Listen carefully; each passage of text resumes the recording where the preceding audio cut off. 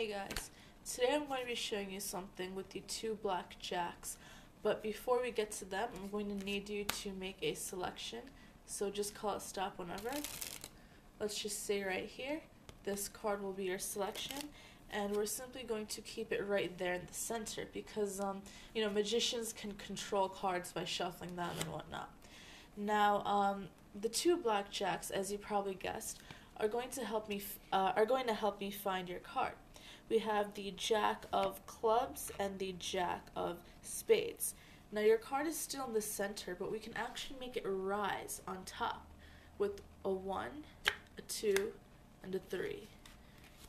Your card in between the two jacks pops up. Thanks for watching and um, I'll see you soon.